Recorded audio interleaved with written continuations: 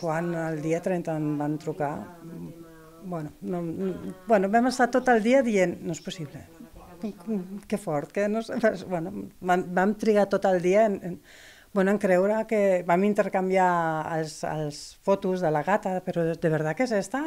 I sí, era la Nuca, la gata que la Geraldine havia perdut fa 4 anys.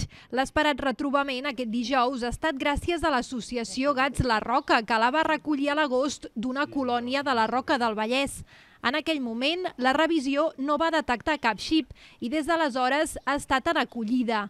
Ara la família que la tenia la volia adoptar i en una segona revisió, però sorpresa, el xip amb les dades de la família de la Geraldine sí que va ser detectat. Un Sant Joan, una nit de Sant Joan, uns veïns van fer una festa molt forta, molt, molt, molt gran, i la nuca es va, es va espantar pels petards. Vam intentar que la casa estigués molt ben tancada, però sembla ser que la gata doncs, estava fora i clar, es va, es va espantar i bueno, vam pensar que ja tornaria, ja tornaria, però no, no va tornar. Un retrobament que des de l'associació Gats La Roca destaquen que ha estat possible gràcies al xip que portava la nuca. A Catalunya, des de l'any 1994, és obligatori identificar amb aquesta eina no només els gats, sinó també els gossos i les fures.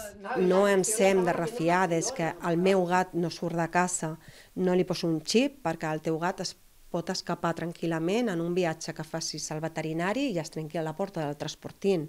No?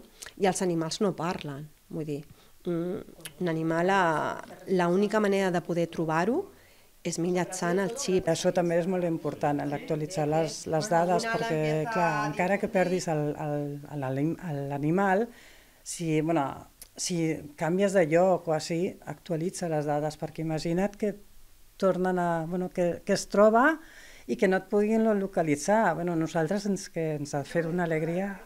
Alegria perquè, sens dubte, el retorn de la nuca ha estat el millor regal de Reis per a aquesta família.